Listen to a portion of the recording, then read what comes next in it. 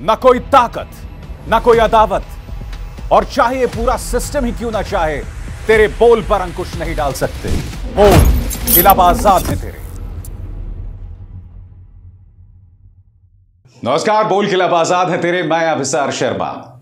आपको यह बात अटपटी नहीं लगती कि प्रधानमंत्री नरेंद्र मोदी और देश के गृह मंत्री अमित शाह मेघालय की सरकार, यानी चुनाव से पहले, चुनाव प्रचार में वहाँ की सरकार को देश की सबसे ज़्यादा भ्रष्ट सरकार बताते हैं। और आज जब शपथ ग्रहण समारोह होता है, सिर्फ़ इसलिए कि आपको मेघालय की सरकार में जगह चाहिए, आज उनके शपथ ग्रहण समारोह में खुद प्रधानमंत्री नरेंद्र मोदी पहुँच जाते हैं। यह बात आपको अटपटी नहीं लगती? कहा गया, प्रधानमंत्री नरेंद्र मोदी का वो नारा जिसमें वो कहते थे कि ना खाऊँगा, ना खाने दूँगा। और दूसरी तरफ़, लालू प्रसाद यादव की पत्नी, बिहार की पूर्व मुख्यमंत्री राबड़ी देवी के घर सीबीआई पहुँच जाती है। मैं आपको याद दिलाना चाहूँगा, कुछ दिनों पहले एक बहुत बड़ी रैली हुई थी बिहार में। और इस बात का इशारा तेजस्वी यादव पहले ही कर चुके थे। सुनिए, तेजस्वी ने उस वक्त क्या कहा था फिर ये लोग आएगा ये लोग चुप बैठने वाला नहीं है, कोनो शर्म है? ये भाजपाइयों को शर्म है? कोई शर्म नहीं है। कोई शर्म नहीं बचा। ये लोग आएँगे, फिर बोलेंगे कि फिर छापा मारो छापा मारो। मगर बड़ा प्रश्न, क्या आरजेडी भारतीय जनता पार्टी के सामने नतमस्तक है, सीबीआई के सामने नतमस्तक है। आपके स्क्रीन पर राबड़ी देवी और उनका बयान, जिसमें उन्होंने कहा कि वो लोग हमें जितना भी परेशान कर लें, हम उनके सामने झुकने को तैयार नहीं है। मैं आपको बतलाना चाहता हूँ कि बिहार की पूर्व मुख्यमंत्री राबड़ी देवी ने दरअसल कहा क्या, वो हमें हज़ार बार परेशान करेंगे, मगर हम झुकेंगे नहीं। तो एक तरफ़ राबड़ी देवी का यह बयान, मगर दूसरी तरफ़ लालू प्रसाद यादव की बेटी एक चेतावनी दे रही है। वो क्या कह रही है दोस्तों? सबसे पहले मैं पढ़ के सुनाना चाहता हूँ और फिर फैसला आपको करना है। आपके स्क्रीन पर यह है लालू प्रसाद यादव की बेटी रोहिणी आचार्य का बयान, वो कह रही हैं पापा यानी लालू प्रसाद यादव को लगातार परेशान किया जा रहा है। अगर उन्हें कुछ हुआ तो मैं किसी को नहीं छोड़ूँगी। पापा को तंग कर रहे हैं, ये ठीक बात नहीं है। ये सब याद रखा जाएगा। समय बलवान होता है। उसमें बड़ी ताकत होती है। ये याद रखना होगा। पापा को ये लोग तंग कर रहे हैं। अगर उनके तंग करने के कारण उन्हें जरा भी परेशानी होगी तो दिल्ली की कुर्सी हिला देंगे। अब बर्दाश्त करने की सीमा जवाब दे रही है। दोस्तों, ये ना भूलें कि लालू प्रसाद यादव का जो स्वास्थ्य है, वो लगातार बिगड़ रहा है। पिछले कुछ दिनों में लगातार ये खबरें सामने उभर कर आई कि लालू प्रसाद यादव बहुत गंभीर हो गए हैं और बहुत चिंताजनक संकेत भी आए हैं। अब जैसा कि मैंने अभी अभी आपको दिखाया, रोहिणी आचार्य जो हैं, ये ट्वीट कर रही हैं, जिसमें वो ये कह रही हैं कि उनके पिता को परेशान किया जा रहा है। आज मैं मोदी सरकार से एक सवाल पूछना चाहता हूँ कि क्या लालू प्रसाद यादव को सिर्फ़ इसलिए परेशान किया जा रहा है क्योंकि वो कभी भारतीय जनता पार्टी के सामने झुके नहीं? आपको यह बात समझनी पड़ेगी कि लालू प्रसाद यादव से इनकी दुश्मनी आज की नहीं है। याद कीजिए, लाल कृष्ण आडवाणी की राम रथ यात्रा। यह राम रथ यात्रा जहाँ जहाँ से गुजरी, वहाँ दंगे हुए। मगर जैसे ही यह राम रथ यात्रा बिहार प्रवेश करने वाली थी तो उस वक्त बिहार के मुख्यमंत्री लालू प्रसाद यादव थे। लालू ने उस राम रथ यात्रा को वहीं रोक दिया था। और उनका क्या कहना था, याद है ना आपको? उन्होंने कहा था कि जब मंदिर में घंटी बजाने वाला ही ज़िंदा नहीं रहेगा तो मंदिर में पूजा अर्चना कहाँ से होगी? उन्होंने कह दिया कि मैं इस राज्य के गरीब के साथ हूँ और किसी भी कीमत पर कानून व्यवस्था का उल्लंघन नहीं होगा। और लालू प्रसाद यादव ने उस काम को इसलिए अंजाम दिया था कि आडवाणी जी की रामरथ यात्रा जहाँ जहाँ से गुजर रही थी, वहाँ दंगे हो रहे थे।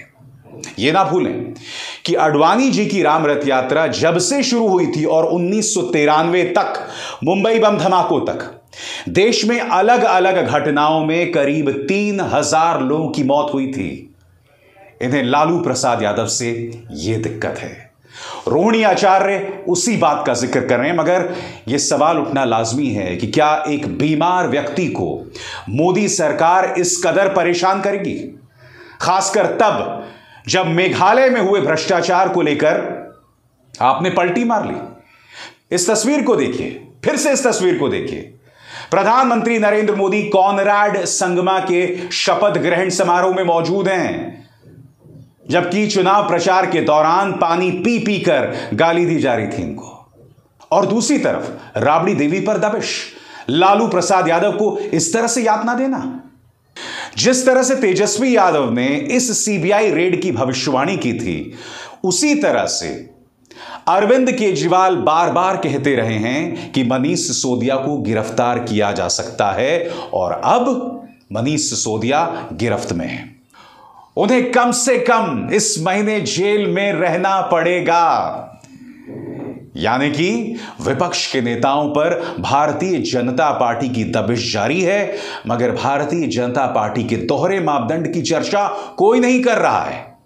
मैं आपको याद दिलाना चाहूँगा, मेघालय में जब चुनाव प्रचार चल रहा था, तब प्रधानमंत्री ने उस वक्त की सरकार के बारे में, जिनके साथ आज वो मौजूद हैं, जिनके शपथ ग्रहण समारोह में प्रधानमंत्री मौजूद थे, क्या कहा था प्रधानमंत्री? ने सुनते हैं। लेकिन आज जब यहाँ लोगों की बातें सुनता हूँ तो बहुत दुख होता है।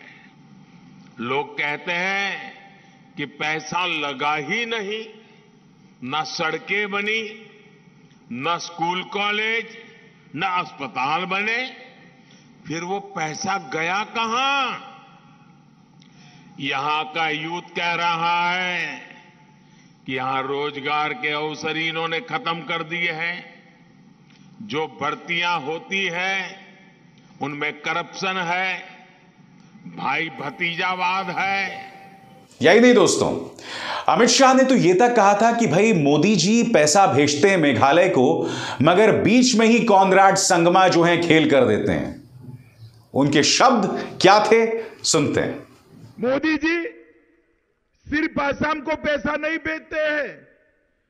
मोदी जी ने ये सारा पैसा मेघालय के लिए भी भेजा है, मगर बीच में बीच में ये मेघालय सरकार आती है।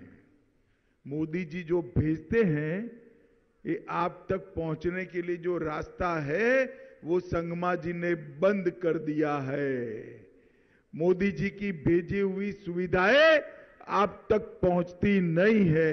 एक बार सरकार बदल दो, सारी की सारी सुविधाएँ आप लोगों तक पहुँच जाएगी। मित्रों, मिलना चाहिए नहीं मिलना चाहिए सुविधा आपको? अब मैं आपसे पूछना चाहता हूँ दोस्तों, जो सरकार या जो प्रधानमंत्री ये दावा करते हैं, ना खाऊँगा, ना खाने दूँगा, क्या उनकी बात में विश्वास किया जा सकता है? यानी कि विपक्ष पर तो दबिश लगातार जारी है। विपक्ष पर आप लगातार हमला बोल रहे हैं, मगर दूसरी तरफ़ खुद आप उनके साथ गलभैया डालकर चल रहे हैं जिन पर आप भ्रष्टाचार के गंभीर आरोप लगा रहे थे। ऐसे में क्या वाकई प्रधानमंत्री पर विश्वास किया जा सकता है? कांग्रेस ने इस मुद्दे पर उग्र तेवर अपनाए दोस्तों, क्या कह रही है सुप्रिया श्रीनेत आइए सुनते हैं। मेघालय की सरकार वो ट्रांसफॉर्मर है, वो जला हुआ, फूका हुआ ट्रांसफॉर्मर है, जिसको उखाड़ फेंको। ये कॉनराड सांगमा जी की एनपीपी के बारे में वक्तव्य थे। ये कि सबसे भ्रष्ट नंबर वन भ्रष्ट सरकार पूरे देश में है और पैसा आने के बावजूद पैसा आगे नहीं पहुँचता है, भर्तियाँ नहीं होती हैं, भाई भतीजावाद है, हर जगह पैसा चल रहा है, ये मोदी जी के वक्तव्य हैं। और एक स्पेशल टास्क फोर्स बनाया जाएगा रिटायर्ड सुप्रीम कोर्ट जज की अध्यक्षता में। इन सारे संगीन और गंभीर भ्रष्टाचार के मामलों की जाँच करने के लिए मेघालय में यह भाजपा अध्यक्ष जेपी नड्डा जी का वक्तव्य था। तो भ्रष्टाचार पर चुनाव की कैंपेन के दौरान बोला जाएगा, लेकिन चुनाव की गतिविधि खत्म होने के बाद भ्रष्टाचारियों से ही गलबैया, भ्रष्टाचारियों के साथ ही मिलकर सरकार बनाई जाएगी।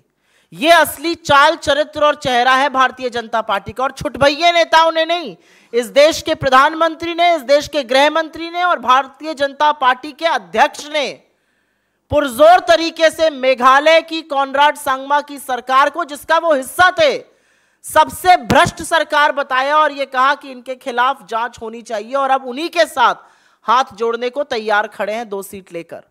तो अगर ये पाखंड और ढोंग नहीं है तो और क्या? और ऐसा पाखंड और ढोंग भ्रष्टाचार पे हमने लगातार कर्नाटक में देखा है, हमने लगातार मध्य प्रदेश में देखा है, हमने लगातार गोवा में देखा है, लगातार उत्तर प्रदेश में देखा है, लेकिन अब समय आ गया है कि इस पर चर्चा हो, इस पर बात उठे कि कैसे भ्रष्टाचार पे बड़ी बड़ी डींगे हाकी जाती हैं जब चुनाव प्रचार किया जाता है और उन्हीं भ्रष्टाचारियों के साथ एक साथ मिलकर लामबस खड़े होने को तैयार रहती है भारतीय जनता पार्टी। आज मैं आपके सामने कुछ सवाल रखना चाहता हूँ। अल जजीरा पर एक रिपोर्ट आई थी दोस्तों, रिपोर्टर्स कलेक्टिव की। इस रिपोर्ट में यह दावा किया गया था कि 2014 में सुप्रीम कोर्ट का एक फैसला आया था, जिसमें उन्होंने 204 कोयला ब्लॉक्स के आवंटन को रद्द कर दिया था। इनमें से दो कोयला ब्लॉक्स थे, एक का नाम पीई के बी कोयला ब्लॉक और दूसरे का नाम पारसा कोयला ब्लॉक। ये दोनों गौतम अडानी की कंपनी को मिले थे। मगर 2014 के सुप्रीम कोर्ट के आदेश के बावजूद जब मोदी सरकार सत्ता में आती है तो वो दोनों कोयला ब्लॉक्स एक बार फिर गौतम अडानी को दे दिए जाते हैं। सुप्रीम कोर्ट के आदेश की अनदेखी करते हुए, यानी कि अल जजीरा की अगर इस रिपोर्ट पर विश्वास किया जाए तो मोदी सरकार ने सुप्रीम कोर्ट की अवमानना की है, क्योंकि सुप्रीम कोर्ट का आदेश साफ़ था। उन्होंने 204 कोयला ब्लॉक्स के आवंटन को रद्द किया। मगर नियमों में ट्वीक करके, उनमें बदलाव लाकर, उन्हें ट्विस्ट करके, वो दो कोयला ब्लॉक एक बार फिर प्रधानमंत्री नरेंद्र मोदी के परम मित्र गौतम अडानी को मिल गए। मैं आपसे एक सवाल पूछना चाहता हूँ। ऐसे में पुरानी सरकार की भ्रष्टाचार और मोदी सरकार के भ्रष्टाचार में क्या फ़र्क हुआ? उल्टा अब तो हालात और भी बदतर हैं। अब तो अदालत के आदेश की अवमानना की जाती है और बात यहाँ नहीं रुकती। पहले जब 2G घोटाला, कॉमनवेल्थ घोटाला, ये तमाम घोटाले होते थे, एक जमाने में बोफोर स्कैम, इन तमाम मुद्दों पर उस वक्त का मीडिया सरकारों पर सवाल उठाता था। जेपीसी बनते थे। आज क्या हो रहा है? अडानी ग्रुप को लेकर राहुल गांधी संसद के अंदर बोलते हैं, जेपीसी की मांग करते हैं, उनके भाषण को 18 जगह से हटा दिया जाता है, मगर जेपीसी की मांग खारिज कर दी जाती है। याद कीजिए दोस्तों, अभी एक ही हफ़्ते में सुप्रीम कोर्ट का फैसला आता है, जिसमें उन्होंने अडानी मामले की दोहरी जाँच के आदेश दिए थे। एक सुप्रीम कोर्ट ने अपनी समिति का ऐलान कर दिया है, जिसकी जाँच होगी और दूसरा सेबी भी इस मामले की जाँच करेगा। अब आप मुझे बताइए, जब सुप्रीम कोर्ट इस मामले की दोहरी जाँच के आदेश दे रहा है तो मोदी सरकार जेपीसी की मांग को क्यों ठुकरा रही है? यानी कि अडानी के मामले में ये लोग सुप्रीम कोर्ट से भी बढ़ जाते हैं। और ये ना भूलें कानून मंत्री किरण रिजिजू हों या उपराष्ट्रपति जगदीप धनखड़, दोनों ही लगातार सुप्रीम कोर्ट के जजों के खिलाफ बोलते रहे, जो अपने आप में कितनी बड़ी त्रासदी है। दबाव बनाते रहते हैं। और ऐसे में आप बताइए, जब सरकार की तरफ़ से इस कदर दबाव होगा, जब सुप्रीम कोर्ट के आदेशों की अवमानना होगी, अनदेखी होगी तो न्याय निष्पक्ष कैसे होगा? मैं एक बार फिर अपने उस सवाल की तरफ़ जाना चाहूँगा कि जो सरकार यह दावा करती है, ना खाऊँगा, ना खाने दूँगा, वो अपने वादों से कैसे पलट जाती है? मेघालय की सरकार को आपने देश की सबसे भ्रष्ट सरकार बताया था। अब आप उनके साथ गठबंधन कर रहे हैं, सिर्फ़ दो हफ़्ते के समय में? यानी कि दो हफ़्ते पहले आपने वो आरोप लगाया था या एक हफ़्ते पहले आपने वो आरोप लगाया था? अब उनके साथ आप गठबंधन कर रहे हैं, उनके शपथ ग्रहण समारोह में जा रहे हैं। इन सवालों से मोदी सरकार नहीं बच सकती। इसलिए जब आप मनीष सिसोदिया पर कार्रवाई करते हैं या राबड़ी देवी पर कार्रवाई करते हैं तो आपकी विश्वसनीयता पर सवाल उठेंगे और उठना लाजमी भी है। आपका डरा हुआ पालतू मीडिया बेशक सवाल ना उठाए, मगर यह सवाल ज़रूर उठेंगे। क्योंकि इस कार्यक्रम का नाम है, बोल के लब आज़ाद है तेरे शर्मा को दीजिए इजाज़त। नमस्कार।